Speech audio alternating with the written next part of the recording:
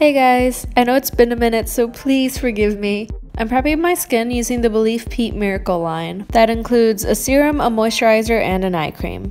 It's super super hydrating and helps if your skin is really dry. Now time to cover up my eyebrows. Ugh. So I haven't used the glue stick method in a long time, and I mean like years, but I thought I'd give it a go, and I didn't do anything too different than what everyone else does, so if you want a really in-depth tutorial, there's other ones out there. I just use a little wet wipe to smooth out the edges. I also wet it further with some water to help smooth everything down. Although side note, I didn't use Elmer's brand, and that's where I think I messed up royally because this off-brand stuff was not good. It ended up like peeling up. It didn't hold well under the makeup. So since filming this video, I've gotten the Elmer's purple glue stick and I want to try that out before ditching the whole glue stick method altogether and going back to Pros-Aide. For my base, I'm using the Makeup Forever Color White. I typically use water-based colors when I do a white face, but I wanted to try this product out and I actually really, really liked it. I also used their white color stick to try to make certain areas more white, but the texture of the color stick is really slippery, so it didn't make these areas as opaque and white as I wanted it to. I really tried to pack on that white to cover my brows. I made the mistake of not color correcting them before I went in with a white, and I just set everything using some translucent powder. Make sure it's all really well set when you're using a cream base, but ugh, it's a lot of powder. So the reason I did this look was to test out the Creepy Cute palette from Strobe Cosmetics and I am in love with this palette. I use this palette for literally everything in this look. Contour, blush, eyes. As you can see, I used a sheet of paper to help cut my cheekbones. And yes, this was inspired by Trixie Mattel's makeup technique. Remember what I said about not color correcting? Yeah, so I ended up using some water-based white paint to try to cover my brows a little bit more. Then moving on to cheeks, I used the pink and the orange from the palette. I switched over to a really fluffy brush to get a really faded out effect with the blush. I also took it on a smaller eye brush to contour my nose and make it look cute and kind of like a button nose. I also brought the blush onto the bridge of the nose to give it a sort of sun-kissed look, if that's even possible on a white base. When you have a white base, contouring with gray will be your best bet. I carved myself an entire new nose shape for this. You can see I'm going smaller and smaller.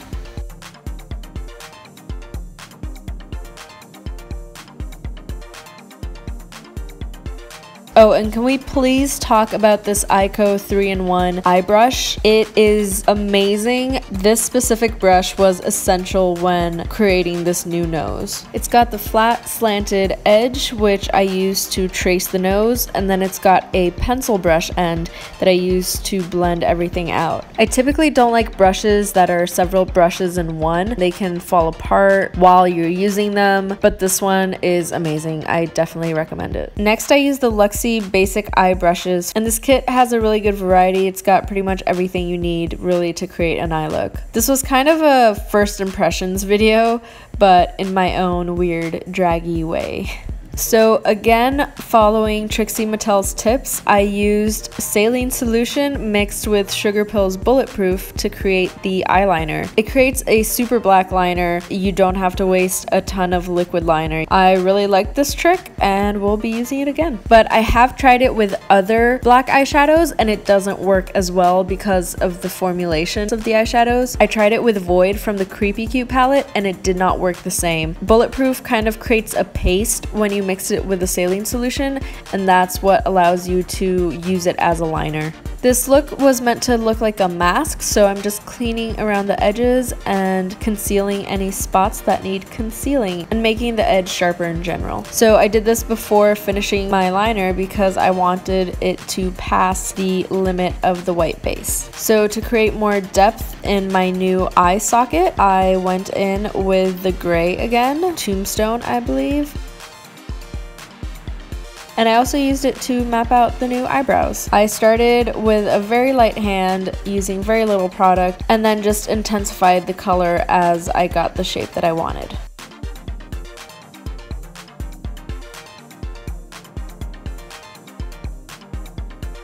Using the NYX Epic Ink Liner, I went in and drew little hairs or little hair strokes on my new eyebrows. I typically don't do this. Um, I was just trying out new techniques and new things. Thought it could be cool. Um, don't hate the way it turned out, but also don't love it. So, yeah then always deepening that socket. I went in with blue to try to give it a little bit of variety and to help blend that out I went in with Sugarpill Tako which is a pure white. So for this look you'll see me jumping around each part of the face always like going back to the eyes and then doing something somewhere else and then jumping back to the eyes and I kind of work like that in general. I just do things as I think they need to be done. I don't really know how to explain it.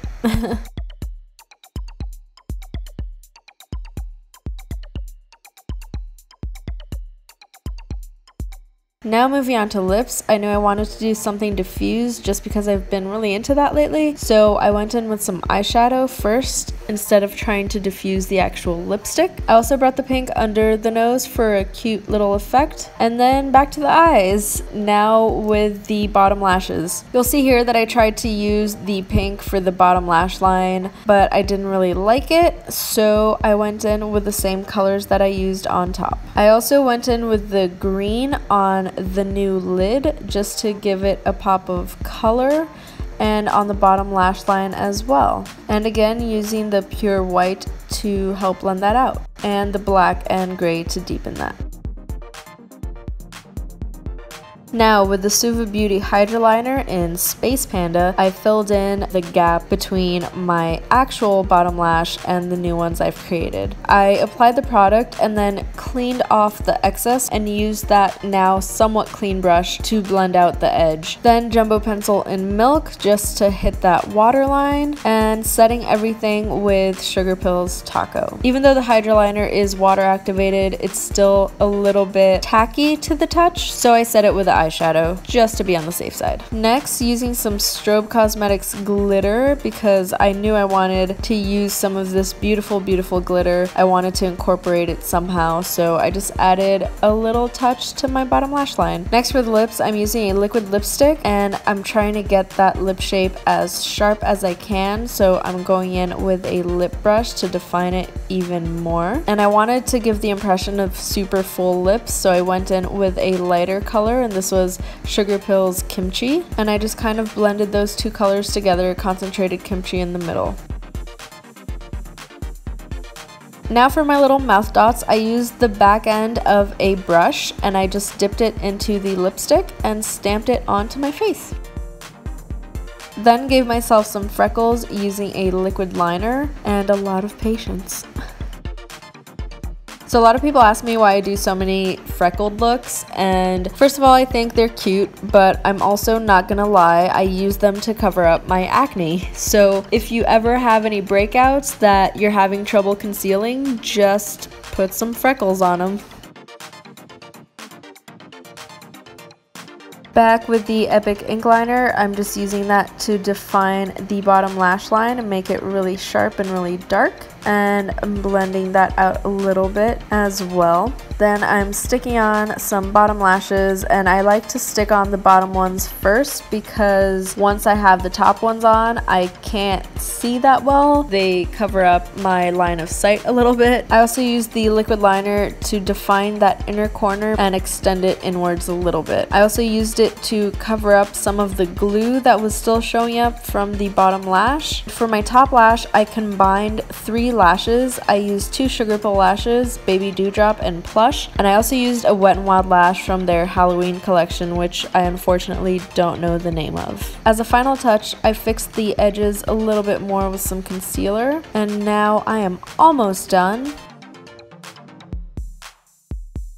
put on my wig and I thought that my lips weren't diffused enough. I thought that they lost some of that after I applied the lipstick, so I just diffused them a tiny bit more.